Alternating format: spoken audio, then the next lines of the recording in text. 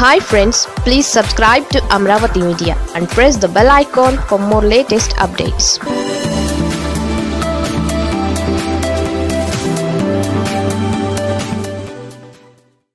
వచ్చే ఎన్నికల్లో జగన్ బ్రహ్మాస్త్రం ఇదే. ముఖ్యమంత్రి జగన్ సోషల్ ఇంజనీరింగ్లో కొత్త రికార్డులు క్రియేట్ చేస్తున్నారు. రెండు వేల పంతొమ్మిది ఎన్నికల్లో అసెంబ్లీ లోక్సభ సీట్ల కేటాయింపులో అనూహ్య సమీకరణాలను తెర మీదకు తీసుకొచ్చారు. ప్రతిపక్షం ఆ వ్యూహం అర్థం చేసుకునేలోగా నామినేషన్లు సమయం ముగిసిపోయింది. ఆ సమీకరణాలే నూట యాభై ఒక్క సీట్ల మెజారిటీకి దోహదం చేశాయి. అధికారంలోకి వచ్చాక కొత్త లెక్కలతో జగన్ అడుగులు వేస్తున్నారు. ప్రభుత్వంలో ఉన్న సమయంలో ప్రతి ఒక్కరికి మేలు జరగాలి.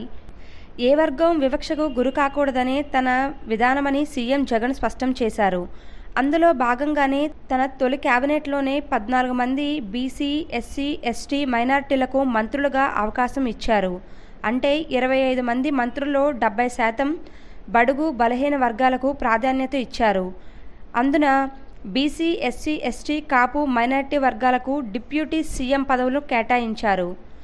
బీసీ ఎస్సీ ఎస్టీ మైనార్టీలకు నామినేటెడ్ పదవుల్లో యాభై శాతం అవకాశం కల్పిస్తూ చట్టం చేశారు. అన్ని కులాలకు కార్పొరేషన్లు ఏర్పాటు చేశారు. నామినేటెడ్ పదవుల్లో మహిళలకు యాభై శాతం రిజర్వేషన్లు కల్పిస్తూ ఏపీ ప్రభుత్వం చట్టం చేసింది. గతంలో ఎన్నడూ లేని విధంగా అమలు చేస్తున్నారు. చట్టాలతో సరిపెట్టకుండా స్థానిక సంస్థ ఎన్నికలలో దీన్ని అమలు చేసి చూపించారు. తమ పార్టీ నుంచి ఎంపిక చేసిన పదవుల్లోనూ యాభై శాతం మహిళలకే కేటాయించారు.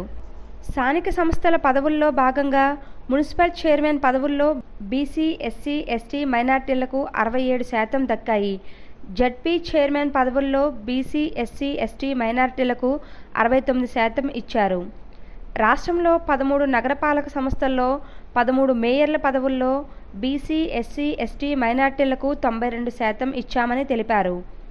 ప్రభుత్వం కార్పొరేషన్లో నూట ముప్పై ఏడు నామినేటెడ్ చైర్మన్ల పదవుల్లో బీసీలకు యాభై మూడు ఇచ్చారు.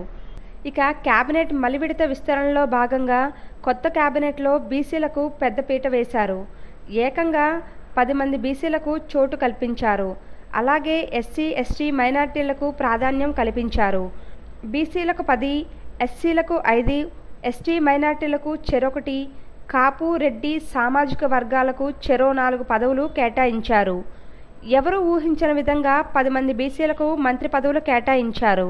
బ్రాహ్మణ వర్గానికి చెందిన మల్లాది విష్ణుకు రాష్ట్ర స్థాయి కేబినెట్ హోదాలో ఆంధ్రప్రదేశ్ ప్లానింగ్ బోర్డు ఉపాధ్యక్షుడిగా నియమించారు. వైశ్య వర్గానికి చెందిన విజయనగరం ఎమ్మెల్యే కొలగొట్ల వీరభద్రస్వామికి అసెంబ్లీ డిప్యూటీ స్పీకర్ పదవి కేటాయించారు. క్షత్రియ వర్గానికి చెందిన నరసాపురం ఎమ్మెల్యే ప్రసాద్ రాజుకు చీఫ్ విప్ పదవి కట్టబెట్టారు. శాసన మండలిలో ఎస్సీ వర్గానికి చెందిన మోషన్ రాజు చైర్మన్గా మైనారిటీ వర్గానికి చెందిన మహిళను డిప్యూటీ చైర్మన్ను ఎంపిక చేశారు. అగ్రవర్గాలకు కార్పొరేషన్లు ఏర్పాటు చేశారు.